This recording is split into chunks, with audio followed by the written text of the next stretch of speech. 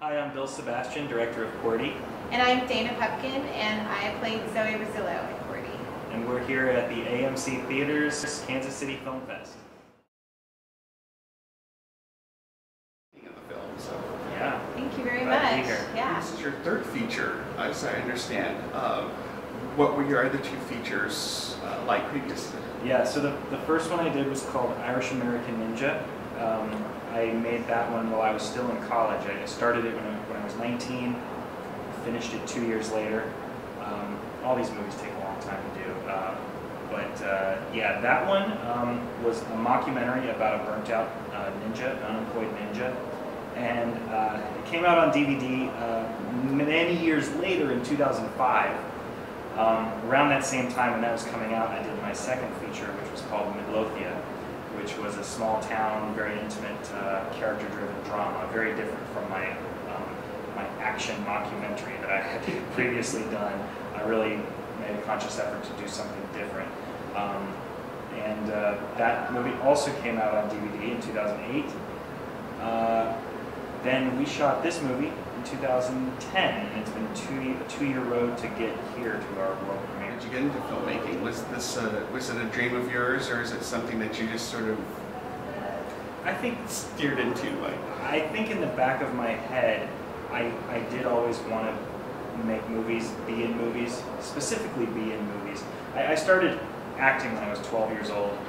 Um, that and I never really thought that people studied film in order to work in film. I thought you know, someone just discovered you or whatever. So I went to college and was literally flipping through the, um, the book to find a minor because I was going to be an engineer. And I saw cinema and I, I kind of laughed. And I guess I was just very naive. I don't know why I laughed. I just thought, really? Movies? People study that? That's sign me up, you know? So it started off as my minor and I, I took one class. While I was in that class, I, I saw a little flyer posted on a, a tree that said, um, enter the first annual SMU Film Festival. And I was like, well, I don't have anything to enter. I better make something. So I, I borrowed my father's uh, VHS camera and we, we went out and we shot a 40 minute version of what became my first feature film. We, we, we later reshot it, elongated it, and made a feature film out of it. But it started off as this 40 minute mockumentary about a ninja. Um, that was my first thing I did when I was uh, 18 years old. Um, and after I did that and took my first film class, I was just I was just hooked. And, you know, I dropped the engineering and decided to make movies. okay. Um, Dana, did you always want to be an actress, or is it something that you also fell into? Like, No, I always wanted to do it. Um, when I was, I did my first play when I was seven years old. I played a toad. It was very glamorous. And then I was hooked, and that was pretty much it for me. Um, but when I, I did plays through high school and that sort of thing, but when I got to college, I decided that theater didn't feel like a very practical major for me. I was trying to be practical. So I majored in uh, TV, radio, broadcasting with emphasis in producing. And after college, I spent many years television, working on like biography television, that sort of thing. Um, and simultaneously in Los Angeles, I was working on my acting career, so I had an agent going out and that sort of thing. And when um, my commercials started to pick up and I was booking a lot of commercials, I felt that maybe it was time to make the official transition from producing to acting, which is what I've been working at for a few years now. And, uh, and on the side, I have a jewelry business, so I'm trying to spend my days very creatively. On to, I guess, with this movie, uh, QWERTY, what was the genesis of it? I guess you said that you're not, I mean, the project didn't, ori- didn't originate with you, so. No, it didn't. Um, so Juliet McDaniel wrote the script. Um, well, it must have been around 2004. Uh, she ended up winning a screenplay competition at the Waterfront Film Festival in 2005.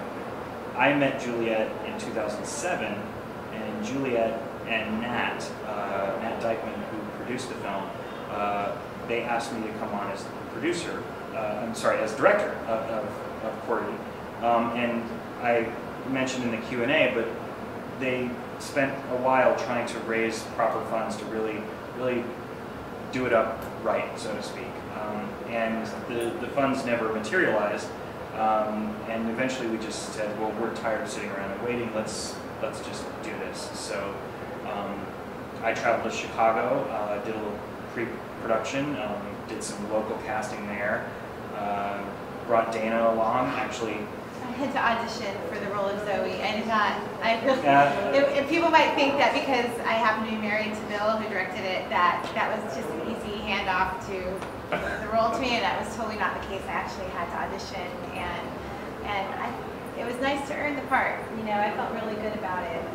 I felt Well, and it's- a strong way to go. It's true, and some people some people um, are very surprised when they hear that, but it was it was a pretty calculated decision to to, to have Dana go through the auditions because when you're a director, there's a lot of things you have to make executive decisions on, and sometimes that sometimes you know you just end up disagreeing with people about some of those decisions. Mhm.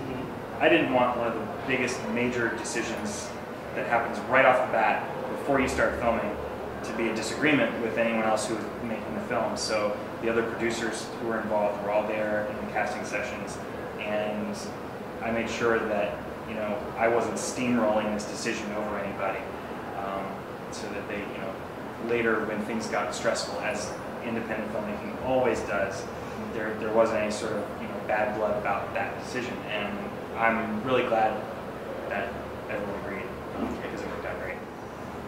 You know, the I first round of actually yeah. First round of dwelling happened first, Right where I was. I was the director of photography on a web series that Dana was was in. So we were on set together prior to making this film, uh, but I hadn't had a chance to direct her until after we did this film, which was our first, and then after that, uh, four episodes of that same web series I got to direct. So that was that was fun. Although Yeah. wait, your character wasn't in those, so why am I even talking about that?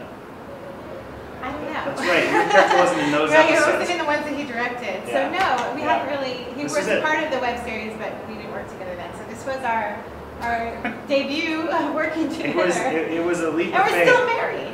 Yeah, Yes. yeah. You know, it worked.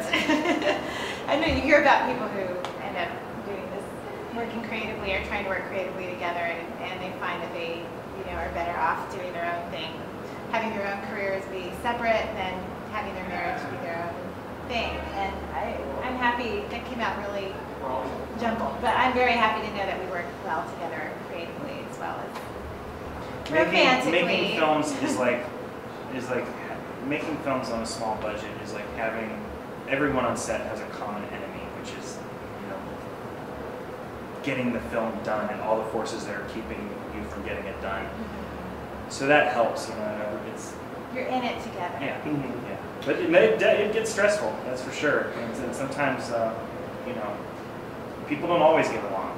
Say that. Dave Wagonar was our director of photography, but he definitely was in place um, before I came on board. I, coming from LA to Chicago to film, I certainly didn't have, uh, you know, a cache of uh, crew members that I, you know, knew in town to insist on or anything like that. But I was very, very happy working with uh, with Dave, um, and obviously the, the product came out really well as well. Um, I, I actually ran uh, camera in almost every scene as well because we often had uh, multiple cameras um, going at the same time. Um, but we, you know, we worked we worked together on picking our shots and, and stuff like that. We did the lighting, the, all of the interior lighting. So we shot on these these newfangled digital SLR cameras um, that so many people are using these days. Um, we used the 7D. Uh, had a couple of them on set, uh, sometimes three, and uh, sometimes when we had to go out and, and just guerrilla style some things, just one. Um, but yeah, How difficult was it to get uh, Scrabble to allow you the rights to use, uh, I guess, to use their brand, especially since you're such a, a low budget, a low budget film. Um, it was difficult in that it just took a long time to get a response, and then once we got a hold of the right person, things did sort of move along. So it was it was good. It was a lesson in persevering and, and not giving up. I mean, this was the movie was about Scrabble, so we wouldn't be here today if we couldn't get that the rights to that. So um, it took a long time and a lot of persistence and patience. well, I think Um, you know, also in, in the end, we really just got permission to use their, their product. There's no further partnership per se than that. just Um, allowing us to make the movie A low budget movie, yes, it'd be very, very difficult to do it, but like Dana said, it, it's about Scrabble, but it's really actually not, and that I think helped Mhm. because you know these board games these days they're they're making movies out of board games, uh, Battleship and Yeah. and uh, and Monopoly, and clearly we were we were pretty conscious of that and thinking, man, I hope they're not making a Scrabble movie because if they are, we're screwed. Um, but the thing is, they, they can still make their Scrabble movie if they if they decide because this movie is really about two two characters and Scrabble plays a big part in the plot, but it's not it's not what the movie's about. It's a, it's a love story. It's a subplot. Yeah. And plus, lucky you don't have UFOs like, like yeah, I, it would be hard to incorporate aliens in, into a Scrabble movie. We're awesome. I can't wait to see it. they come to our planet to play Scrabble. nice. Well, did you have like I guess uh, with the competition, it's a real competition. Did they act like technical advisors or? We We had one person who really helped us out from the National Scrabble Association. He was very instrumental and helpful and encouraging to us. And then there were some local people in Los Angeles who we would contact when we needed a little guidance as far as word play, you know, word plays on the board and that sort of thing. Um, But the truth is also, we took a lot of creative liberty with how we portrayed the tournament. Um, yeah. yes, the tournament happens. Um, yes, people win money. No, there aren't live commentators. No, there The there isn't necessarily television coverage, at least not live television coverage. And uh, most of them, there's actually documentaries, um, at least a couple documentaries about national Scrabble championships. And um, of course, we watched them to, to see what we needed to learn. And one of the things I learned is that if we make it look like that, we don't have a very exciting movie because it, it basically happens in a big, you know, open ballroom with just tables set up, and there isn't really a, a an audience. So the audience was a, was a departure from reality, um, and you know we we added the commentators, and, and I think we made it it a a lot of fun. drama. But we and, and hopefully we didn't offend anyone who actually does competitive Scrabble when they watch this movie by our creative license. But I think we made it fun for, for a general audience to watch.